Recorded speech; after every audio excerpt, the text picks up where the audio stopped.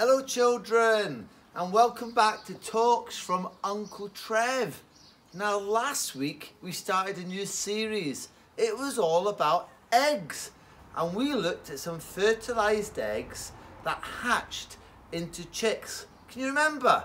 And we found out that God is the giver of life.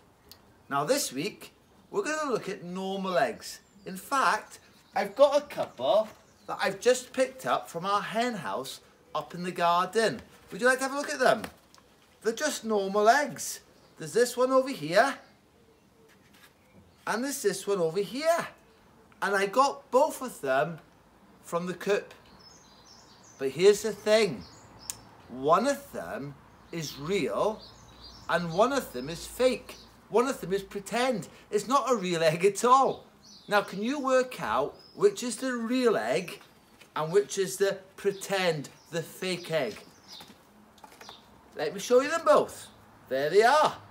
Which one is real and which one is fake? They both look really similar, don't they? If you look at them closely, they both are the same shape. They're both the same colour. They're around about the same size. They've both got mud on them. And if I feel them on my cheek, both of them are really smooth. They both look like real eggs, but only one is real. The other is fake. It's pretend. Hmm. Now, can you think of a way I can work out which one is real and which one is fake? You have a think about that for the moment. Jesus had a lot to say in the Bible about what was real and what was fake, what was good and what was bad. For example, he would talk about a tree. If a tree was good, you'd know it was good because it would have good flowers on it. And eventually, it would have good fruit on it. So for example, a nice rhododendron tree like this has got beautiful rhododendron flowers on it. And after the flowers go, we get a fruit that gets left behind. Think about an apple tree. An apple tree has lovely blossom on it, doesn't it? And then when the blossom goes, you're left with the beautiful fruits that we can take and eat. That's how you know if it's real or not. Jesus said, by your fruit you will know them. And if somebody really is a follower of Jesus, then they'll have the fruit of Jesus growing on them.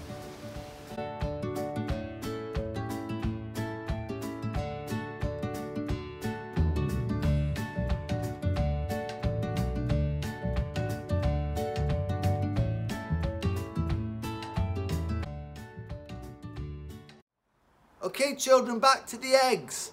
Which one is real and which one is fake? How is Uncle Trev going to decide? Can you think of a really good test that I can use to decide which one is real and which one is fake? What's that? You want me to drop them on the floor? Oh, that's a good idea. Uncle Kenny might not be happy, but here goes. Shall I start with this one? I'm going to drop it on the floor. What's going to happen?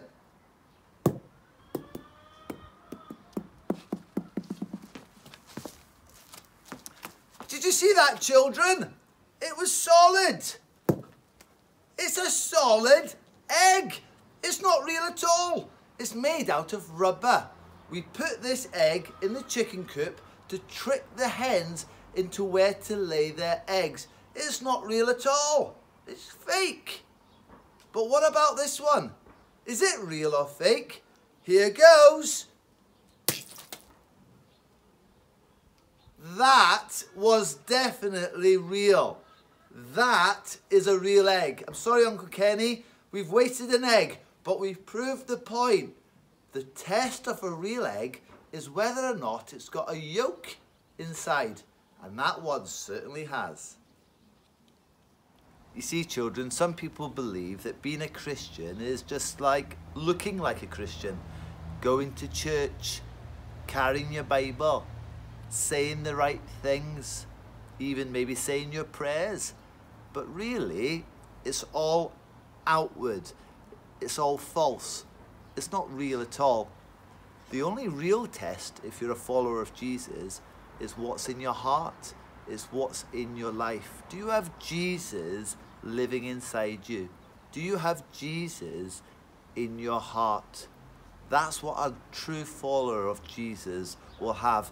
And if you have Jesus living in your life, if he's at the heart of your life, then you will start to become more like Jesus. That's what we call the fruit. You'll become more like him. You'll become more gentle, more kind. You'll become more patient with other people. You'll become more content with your life. You'll love the things that Jesus loves. You'll love his people more. But you'll also hate the things that Jesus hates. You'll hate to disappoint him. You won't want to sin anymore or disobey him. You'll become more like him. So the real test, if you're a follower of Jesus, it's not what you look like on the outside, it's what's happened inside your life. Have you got Jesus living inside you? Children, it's been great talking to you again. I hope you have a really good week and I look forward to seeing you next time. Enjoy your eggs. Bye for now.